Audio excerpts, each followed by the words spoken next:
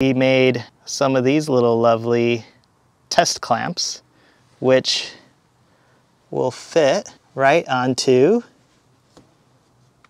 our upper radiator hose. Now that radiator hose is definitely going to get much hotter than sitting on a hose that doesn't have any heat running through it.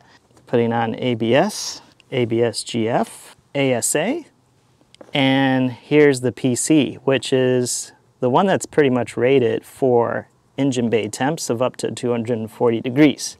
So let's grab Ashley and go for a test drive. You ready for the test drive, Ashley? All I'm saying is nothing better happened to this truck. I am a little concerned though. I feel like uh, I'm not sure how some of these uh, filaments might do to the heat. We might want to pull over and check to see how they're doing, Ashley. You better pray that thing has not melted onto my engine. Pray.